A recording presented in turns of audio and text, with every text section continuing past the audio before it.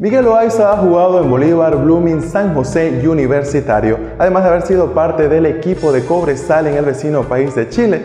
Jugando por más de 14 años en la primera división, el ex volante de la selección boliviana ha decidido compartir toda su experiencia en el fútbol, abriendo su propia escuela denominada Dios es el Crack, llevando este nombre por un motivo especial que está listo para compartirnos todos los detalles de su carrera, nuestro invitado especial en Fútbol Connect, Miguel Loaiza.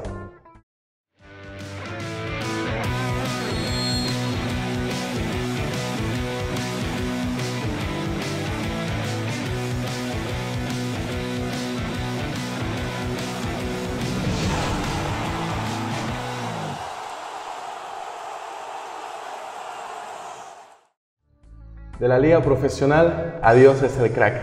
Profe, coméntenos cómo, cómo, nace esta idea, cómo surge la idea de, tener su propia escuela. Bueno, primeramente, eh, esto comienza con una lesión que yo tuve en el fútbol, que es esta lesión que tuve en el brazo, que me pasó en un clásico cuando, cuando yo vengo a Blooming. Entonces yo eh, soy, era creyente eh, en Dios, que existe un Dios, pero no tenía una relación real, no, no conocía mucho. Entonces esta lesión hizo que yo a través de eso pueda conocerlo. Y de ahí cambió mi vida totalmente. Entonces, eh, cuando dejo el fútbol, eh, vuelvo a mi barrio, donde yo me había criado jugando fútbol, y veo una realidad muy dura, muy triste, con los niños, con los jóvenes, y, un espacio hermoso que era un parque autonómico. Entonces ahí con otro profesor empezamos a decir, ¿por qué no hacemos algo por estos chicos, por estos jóvenes? Si nosotros tenemos de repente un poco de experiencia, podemos enseñarles algo y que esas dos horas nosotros la podamos, eh, la podamos ganar para ellos que puedan aprender algo. Y dice, sí, metámosle. Entonces ahí comienza y es ahí donde Dios también pone eh, en mi corazón hacer la escuela. Y me dio el logo, me dio el nombre, me dio todo. ¿no? Porque ahí pareciera, pareciera que dice eh, el 10 el crack, ¿no? Pero a, la vez dice Dios el crack, porque Él es el, el super crack, ¿no? Si nosotros vemos a Messi, que es el mejor jugador de la historia, pero ¿quién lo creó a Él? ¿No? Entonces él es el, crack. Por eso fue que la, iglesia, eh, la escuela creció bastante, porque seguramente él está en el medio y como le decía, tenemos recién dos años y medio y me parece que han pasado alrededor de 700 chicos por la escuela. Y que ya tienen una, una satisfacción de que hubo un intercambio también con Exacto. Más que eso, eh, más que fútbol, o sea, el fútbol es un, arma que Dios utiliza para transformar vidas, para unir familias. Entonces, eso lo hemos visto dentro de la escuela. Menciona en una entrevista que le hicimos también aquí en Fútbol Connect que si no logra que su chico pueda convertirse en un jugador, su misión estará cumplida con que se convierta en una persona de bien. Exacto. el eslogan que nosotros manejamos es formar personas diferentes. ¿no? Porque la estadística lo dice de 100 niños que entrenan, solamente uno juega fútbol profesional. Entonces, ¿por qué me voy a enfocar en uno? Me tengo que enfocar en los 99.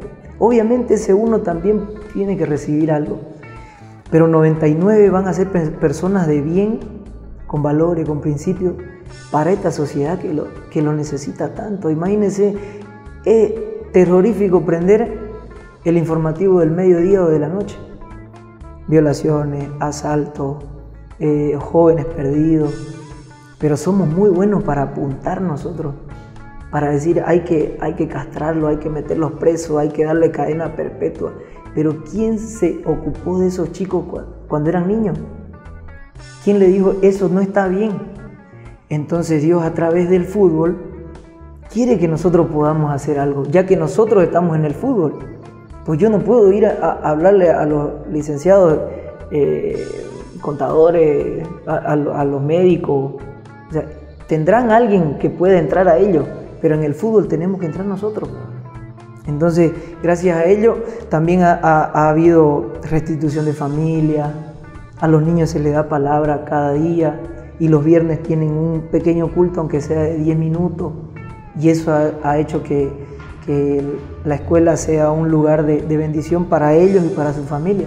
Y que es algo muy importante que recalcar, porque la verdad, como menciona, la juventud hoy en día está desviándose, vemos tantas cosas que, que, no está bien, pues, ¿no? Que no está bien y que qué mejor manera que hacerlo de la mano de Dios con el deporte. Exacto. Profe, y el hecho de que la escuela esté en la zona de la villa, ¿es un homenaje, un agradecimiento a su barrio? Sí, un agradecimiento porque yo cuando llego a la villa era jovencito, tenía 14 años creo. Y ahí fue donde, imagínense, vi a la zona más futbolera que, que pude haber visto en esa época, ¿no? Porque yo cuando estaba en la calle Ingavi, que yo vivía ahí, nací ahí, eh, jugábamos en la loseta en la calle, entonces no había campo deportivo cerca. Entonces, cuando llego a la villa veo en cada barrio campeonato fuerte, duro. Entonces ahí yo me sentí muy cómodo, ¿no? Y, y la villa Primero de Mayo es un lugar que de repente está visto como zona roja. Hay gente en Santa Cruz que nunca ha ido a la villa Primero de Mayo. Pero los que estamos ahí adentro sabemos que es gente muy humilde, muy trabajadora, y muy deportista, apasionada por el fútbol. Hay campeonatos de mujeres, de niños, de jóvenes, fuerzas libres, senior, super senior, increíble. Entonces yo sé que es una zona que es muy futbolera y nosotros que hemos estado ahí conocemos, entonces tenemos que hacer algo, pues, ¿no? Algo para, para cambiar eso, para que no se han visto esos campeonatos de barrio como ir a tomar. Ganar, perder, tomar. Entonces tenemos que formar a los chicos que es, distinto, que ellos quieren jugar fútbol, tienen que cuidarse, tienen que alimentarse bien, tienen que cambiar esos hábitos. Y de a poco lo estamos haciendo. Pero si nosotros no, nos enfocamos en, apuntar, en destruir, en hablar mal, vamos a seguir en lo mismo.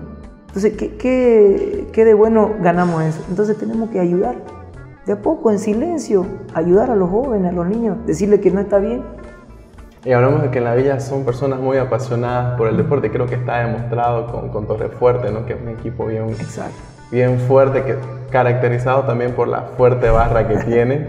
¿Qué, ¿Qué, significó haber trabajado en este equipo? A ver, yo eh, había iniciado, iniciado, con la escuela, pero Torre Fuerte ya tenía un equipo en, en la primera B. Entonces ellos quedan sin entrenador y como son amigos míos y son de la zona, ellos dijeron, necesitamos alguien que se identifique con la villa, que quiera eh, ayudar a estos jóvenes. Entonces ellos me buscaron, me dicen, pues queremos que nos ayude. Y yo le dije, con todo gusto les ayudo. ¿Qué es lo que quieren lograr? Nosotros queremos un equipo en la primera A. Y, pero estamos sextos, estamos a 15 puntos todavía. Me Pero metámosle, vamos a hacerlo. Entonces fuimos, ayudamos con Torrefuerte, tuvimos seis meses y, repuntamos, ¿no? Veía que había un equipo con mucho talento, con mucha fuerza, pero eran muy desordenados. Entonces faltaba ese toque. Impusimos todo eso y logramos salir campeones en la primera B. El equipo subió a la primera A. Y bueno, yo le dije, acá está su objetivo, era subir a la A, está su equipo, yo tengo mi escuela, entonces yo me voy a dedicar a lo mío y, y ahí quedó. Pero una gran experiencia. Una gran experiencia. Salimos campeones en la B, que para mí yo la jugué con Florida y Calleja Salí campeón en los dos, pero sé que es el campeonato más duro que hay en la asociación, el de la primera vez. La primera vez. Ha, pasado por clubes muy importantes, incluso ha jugado en el extranjero. ¿Qué tan importante es para un boliviano poder pisar una cancha extranjera y jugar en un equipo extranjero? Es, mm, es muy lindo, ¿no? O sea, ahí uno ve reflejado, por ejemplo, yo el día que juego contra River Plate en la Argentina, eh, y cuando jugué también con la selección, un partido en Guatemala creo que fue, eh, ahí es donde dice valió la pena al entrar a ese campo, al jugar con ese rival. Entonces, estoy convencido que es con trabajo. Es con trabajo. Por ahí hay demasiada corrupción en el fútbol. Demasiado y se nota y se ve. Pero al final yo sé que con esfuerzo. Yo sé que el que se esfuerza tiene esa oportunidad. De por eso a los chicos hay que decirle que hay que esforzarse. Que no todo es gratis. Entonces yo al, tener esa experiencia dije, valió la pena tanto tiempo que hemos entrenado. Yo entreno desde que tengo uso de razón. Juego al fútbol desde que tenía, no sé, que caminaba, gateaba. Entonces, es el momento donde uno dice, valió la pena. ¿Qué considera que es lo mejor que le ha dejado el fútbol? Más que mm, el fútbol, a mí lo más importante que me dio fue eh, mi formación como persona, con, valores, con principios que, que, también mis padres lo hicieron. Entonces, a través de eso eh, he sido un jugador que por ahí alguien mira y dice, ¿cómo pudo haber jugado fútbol? Con el tamaño, con, la fuerza que él tiene. Es imposible que ahora pueda jugar fútbol. Eh, pero yo rescato que el fútbol me, hizo, me hizo hombre, me hizo persona de bien. Entonces todo eso nosotros, ¿por qué quedarnos con eso? Pues? Tenemos que darle que otros puedan ver y que puedan hacer lo mismo. ¿Extraña jugar? No, no, desde que el día que decidí dejar de jugar fútbol, eh, ni en mi barrio ya juego. O sea, no, no, jugué más fútbol. Quizás alguna vez ahí volví a, pichanguear, como se dice, pero eh, me apasiona el poder enseñar a, los niños. Ya jugó todo lo que quiso. Todo. Y, lo dejé muy joven, ¿no? En una etapa donde de repente caminando o trotando podía jugar más que lo que jugaba antes, porque ya tenía más experiencia, más recorrido. A mis 32 años yo dejé de jugar fútbol profesional. Y de ahí hasta ahora no he vuelto a jugar. Empezó bien joven y, cerró bien joven. Sí, empecé a mis 18 y, terminé a mis 32. He jugado alrededor de 500 partidos profesionales, 15 eh, años de carrera profesional. Entonces, yo creo que es el tiempo que salgan otros, pues. Darle oportunidad a otros talentos. Darle oportunidad, pero también darle armas. Darle armas para que ellos puedan llegar y puedan mantenerse, porque es duro mantenerse. No, no lleguen y la fama, la plata, haga que ellos duran seis meses o un año y, y no jueguen más fútbol. Porque aparte de eso, no juegan fútbol, pero tampoco estudiaron. Entonces, ¿qué les queda de allá para allá? Porque todavía en la vida son jóvenes en la vida siguen siendo jóvenes y tienen mucho recorrido para no tener profesión y no jugar al fútbol. Sabemos muy bien que, que para un jugador y para cualquier persona la familia es muy importante. ¿Usted tiene el apoyo fundamental de su esposa? Sí, mi esposa es el pilar fundamental de la escuela, porque ella es la administradora, es la, la que hace todos los grupos, ella se encarga de organizar todo en el tema administrativo y yo en el tema deportivo. Y mis hijos también colaboran, no tengo un hijo de 14 años, el otro que tiene 10. Que al jugar fútbol yo me perdí la niñez de mi hijo mayor. ¿no? Porque no había fines de semana, no había eh, feriados. Entonces yo me perdí la niñez de él. Que ahora ya la tengo con mi otro hijo que tiene 10 años. Profe, menciona las armas que, que hay que darle a los jugadores para que, que puedan enfrentarse eh, como Fútbol Connect tratamos siempre de mostrar el talento joven que hay, eh, de, darlos a conocer. ¿Cuál considera usted que es la importancia que, que, tenemos como Fútbol Connect de apoyar el talento joven? No, lo que ustedes hacen está muy bien y, valoro el, trabajo que hacen. ¿Por qué? Porque muestran lo bueno, porque se encargan de, de dar a conocer el talento que hay en Santa Cruz, darle a los chicos algo diferente y no apuntarlos. Porque el darle a ustedes eh, cobertura, que, tengan la cobertura que tienen arriba, ya hace que ellos vayan acostumbrándose a esto. Porque imagínense, llegan allá arriba, de un rato a otro pueden ser muy talentosos, pero les va a durar seis meses. A la primera entrevista que ellos tengan, fuera. Entonces es muy bueno lo que hacen, es una labor muy buena. Y, eh, la verdad que el apoyo que brindan eh, para los jóvenes el fruto lo van a ver cada día de aquí en adelante. Formar personas de bien, formar buenos eh, futbolistas con valores. Como, como entrenador, como, como, futbolista, ¿cuál es el mensaje que le da a la juventud eh, para que luche por sus sueños, pero que no dejen de lado los valores? Sí, a ver, lo, primero es que mm, decirle a los jóvenes que se puede, que nosotros somos bolivianos y podemos. Pero hay un arma fundamental en esto. Dice la palabra de Dios que eh, podemos todo en Cristo que nos fortalece. Cualquier sueño que tengamos, seamos bolivianos, podemos llegar al Real Madrid. Seamos bolivianos, podemos llegar a jugar en las ligas más grandes de Europa.